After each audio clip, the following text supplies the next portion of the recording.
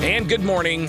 Wearing pink. Don't forget, Real Men Wear Pink is this month, and I'm on my way to raising $7,500, but I can't do it without you. Go donate at WMAY.com slash pink and join us tonight after work. We're going to be over at Obed and Isaacs for a fundraising event, all in an effort to raise funds and awareness about breast cancer and to provide help, support, and research for those who are diagnosed with breast cancer. So realmenwearpink.com slash pink. Our efforts being helped by Heartland Hearing. Better hearing starts today. All right, let's get into it. Uh, now, I wasn't sure that there were going to be any public forums of sorts between the incumbent Democratic Illinois Attorney General Kwame Raoul and the Republican challenger Thomas DeVore, uh, but there was one. The Illinois Associated Press Editors Association they uh, formed this virtual committee uh, where they had uh, the candidates uh, address each other and various issues.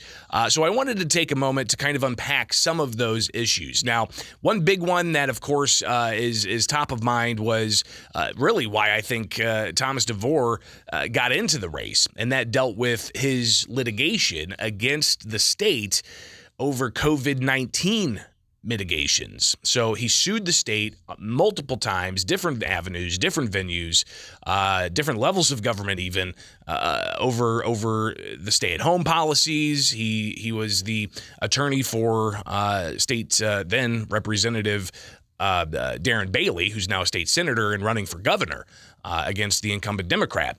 Uh, so Tom DeVore represented Bailey in that case back in the summer of 2020. And then he continued to represent individuals who felt they were wronged by the governor's continued executive orders, including hundreds of parents and school students and staff that were suing the State Board of Education and school districts over COVID 19 mandates, stay at home orders, uh, exclusion policies from schools, mask mandates, and so on.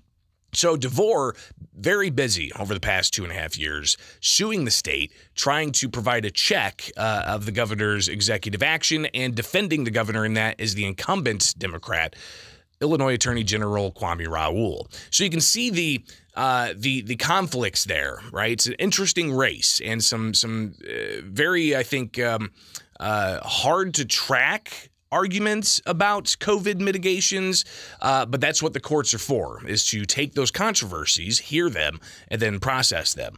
Uh, some of those cases were dismissed. Other cases are still pending, from my understanding. Uh, but here's what Attorney General Kwame Raoul had to say about defending the governor's COVID 19 executive orders when he was uh, part of this forum earlier this week. Uh, again, uh, Attorney General Kwame Raoul, and then we'll hear um, the Republican uh, candidate, Tom DeVore, as well. So here we go.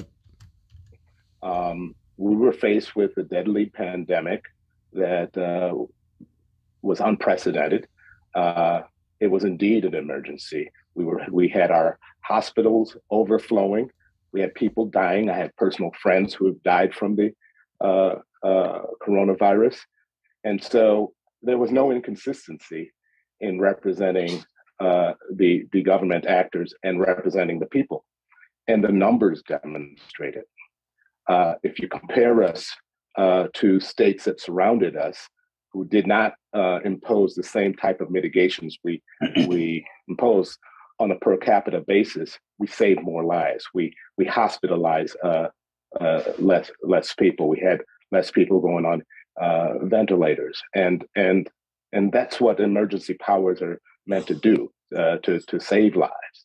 And uh, so I would do nothing differently than we had done, and and I, I will agree with uh, Mr. DeVore. It was a fair question to ask, but how many times you ask it uh, is a fair question to ask too. It was a- asked and answered multiple times in multiple lawsuits, uh, and the court's resources should not have been abused as they were. Uh, and again, that was uh, Illinois Attorney General Kwame Raoul reacting to uh, questions about his defense of the governor's continued executive orders. And he says they were asked and answered, but there's still some pending litigation going on uh, surrounding COVID mitigation. Uh, Attorney General candidate Tom DeVore, uh, again, part of this this virtual forum uh, that was recently held uh, for the two candidates, and uh, he responded to some of what Illinois Attorney General Kwame Raoul had to say. Yeah, I have a very brief response. I mean, everything that I just heard Mr. Raoul talk about was about the policy positions that were pursued by the executive branch. That's where, with all due respect, he missed the issue completely. Any of those policies that the governor thought were appropriate should have been pursued and vetted through the General Assembly. And the legislature should have been the one to craft those solutions. And to the extent they would have done that, we would have not been in court. We were in court because the executive officer took it upon himself to go to doing executive fiat tantamount to lawmaking in violation of the separation of powers. If our attorney general would have stood up and said that this is an excessive use, like Judge Grischow did, calling it the evil that the law was intended to protect the people against, we wouldn't have had to have gone down this path. But we went down this path not because of the policies, but because of the excessive nature that the executive branch was disregarding the legislature. So that's uh, the Republican candidate, Tom DeVore, uh, addressing some of what uh, the incumbent Democrat uh, had to say about the COVID mitigations and the lawsuits. So that was one issue. Uh, they also talked about uh, how to fight public corruption, and DeVore very critical of Raoul's office for not pursuing the alleged alleged uh, workers' comp fraud case that uh, we've highlighted of uh, Jenny Thornley, uh, and there's still no prosecution in that case. There's overtime fraud being prosecuted, but not uh, the the workers' comp allegations. Uh, so there was some back and forth about that, and also um, the the Republican critical of the Democrat for not going after public corruption more, including the you know nine or so former or current state lawmakers that that are facing federal charges. Uh, the the Republican uh, challenger to uh, Raoul says that uh, well those uh, those those could be state charges parallel with federal charges, and that's not being done. But Raoul fired back and said, "Listen, you know, he's got public corruption cases, and he's dealing with like a dozen or so, and kind of listed some of those, but none of which were of the level that we've seen at the Illinois State House at the federal prosecutors are going after to tackle corruption. So they talked about that. They also talked about uh, gun legislation or gun gun mitigation or how the attorney general uh, plays a role in gun control. Uh, so that was uh, another element of the conversation. But then things got a little personal uh, with questions to the uh, Republican challenger, uh, Thomas DeVore, about his law practice. And not just about his law practice, but also uh, about several defamation lawsuits that he's filed to against people like the governor for calling him a grifter, um, and even down to you know somebody in his his personal life as well. So the moderators of this uh, Illinois Associated Press me- media editors uh, group. Uh, they asked DeVore about those uh, defamation cases, uh, and uh, we'll also hear the Attorney General, Kwame Raoul, respond to some of that and some more of that back and forth. So stay here. It's right now with Springfield's Morning News. I'm Greg Bishop. Let's hear that now from Attorney Thomas DeVore being asked about if he's going to pursue defamation cases in the future if he was elected Attorney General. But look, let's talk about the attorney or the governor's comments. The governor's comments, he never at one time said that what he uh, called me, which is a thief for all intents and purposes, wasn't defamatory. He raised the argument that as the governor, he can defame people all he wants and go about saying whatever he likes, and he has that immunity. That was his argument. As to these other causes of action, those are personal issues uh, to the extent those persons are trying to say those things. But in general, I'll say merely because you know how many people are stifled to run for office because they're scared that they're going to be absolutely taken to task on their whole manner of things that exceed the office a lot. You know what? Governor Pritzker just sent a letter through his law firm to a news organization in the North saying that what you're doing is defamatory to me. Please stop. So when it rises to the level of it's not just political talk, and it's accusing people of committing crimes and saying other things that impugn their ability to do their job. They have an absolute right to defend themselves. Me, the governor, Mr. Raoul, and anybody. And to suggest that it has some ulterior motive other than defending your character, I take issue with that because that's what it's about. The governor had the right to send that letter when he sent it. No, just as much as I have the right to defend myself. And if someone says something like that to Mr. Raoul, I would hope he would do the same thing. Now, uh, Attorney General Raoul, uh, he he jumped into the fray here and uh, continued his criticism of the Republican challenger Thomas DeVore in pursuing defamation cases.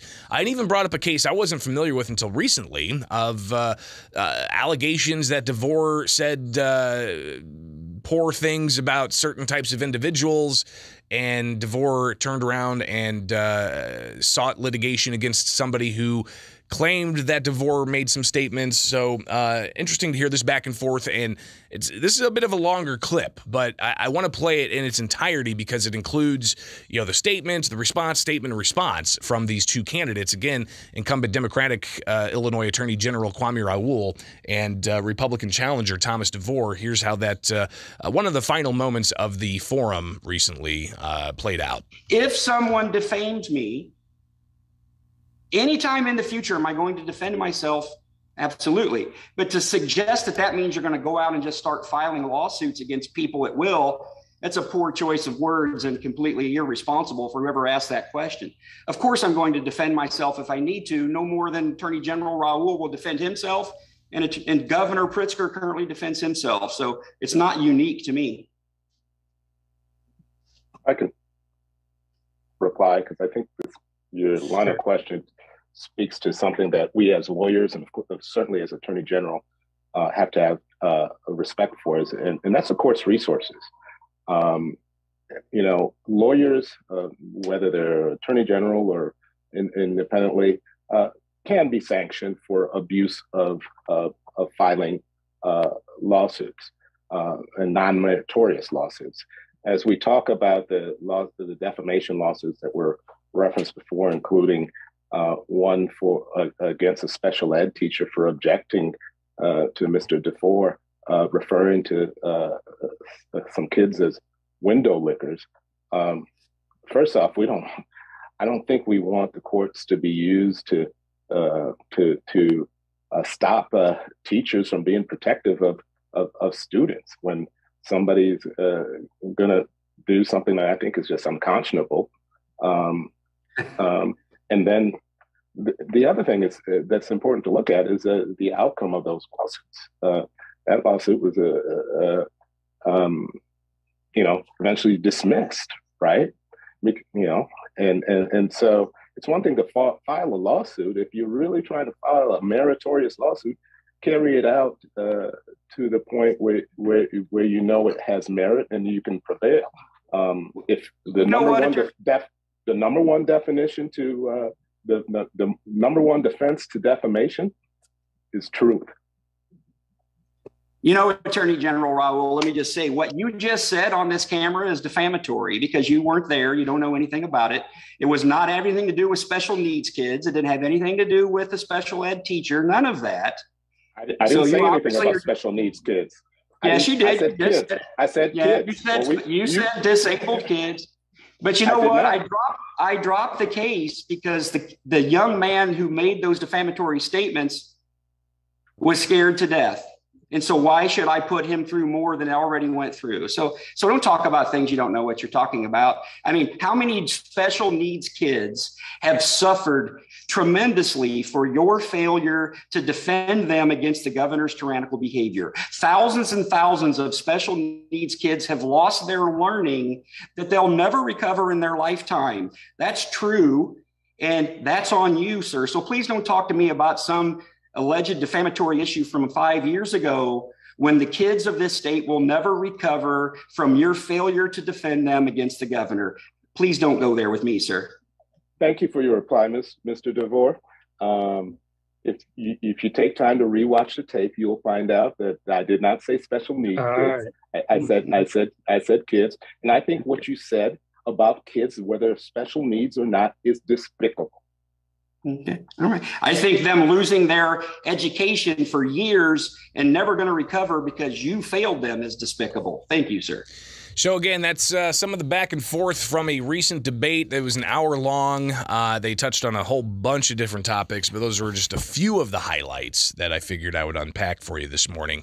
Uh, and that was uh, incumbent Illinois Democratic Attorney General Kwame Raoul and the Republican challenger Thomas DeVore. Uh, of course, the election's November 8th. Early voting's underway now. Uh, and it's just one of those statewide races that everybody across Illinois is going to have to make a decision on.